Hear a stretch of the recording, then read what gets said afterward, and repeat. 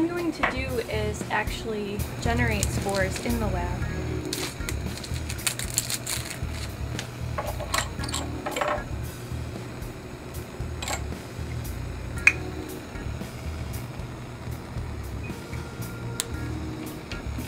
So all I do is now I'm taking, these are just sterile loops.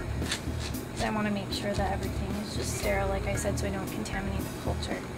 And then I just take colony from the plate, off of the plate with this loop, mix it in with the media that I put into the tube, just so that I can resuspend the bacteria in the media.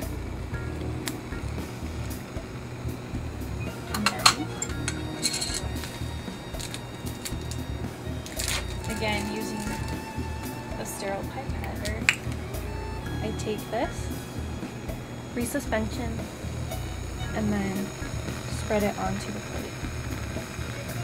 So I put it all over the plate just by putting the liquid in different drops and then I take it and streak it all over the plate. And this is making what's called a lawn.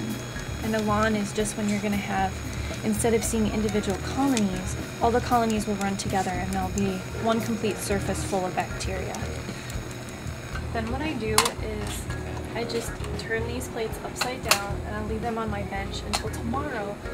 And then I will, remember I said that I'll have a lawn or one continuous layer of bacteria and I'll scrape them off and then put them into liquid culture so that I can grow them up um, for another 24 hours to make sure again that all of these nutrients are out of the media that I put them in so that in the end I'll have spores.